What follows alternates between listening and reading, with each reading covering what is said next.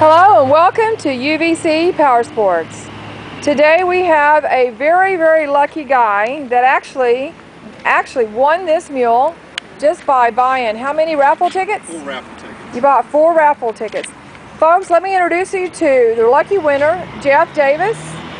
Jeff Davis, um, you were um, doing the uh, buying tickets for the raffle for, I believe, the Brazoria County 4-H. Yes, ma'am. Uh, kind of good. Tell me a little bit about uh, your your experience with uh, dealing with Brazoria County 4-H. Well, I tell you what, uh, I do a lot of work out at the Phillips Refinery, and uh, a good friend of mine that works there, um, his daughter is in 4-H, and so he, he uh, I have a friend uh, named Chance. His daughter uh, works, is in the 4-H club, and so he he was selling raffle tickets, and I buy raffle tickets and all sorts of things from those guys all the time. So I like to like to help out where I can.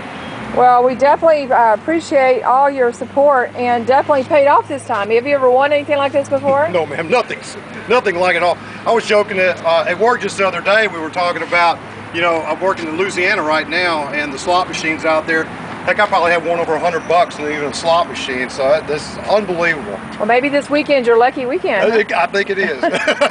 Well, not only do you get this brand new 2016 Kawasaki Camo Trans, which by the way has a three-year warranty.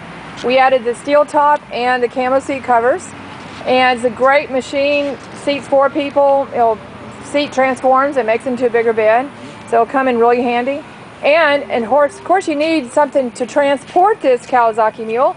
And Brazoria County 4-H also included in the raffle a brand new Big Tex 12-foot trailer uh, 6 by 12 with a fold down ramp so you definitely were in the process of getting the trailer ready for you and you'll be off on your way here shortly so congratulations again Thank you very much. and um, thank you UVC Power Sports UV Country and I'm sure Brazoria County 4-H thanks you as well Yes, ma'am. Thank, Thank you you. very much.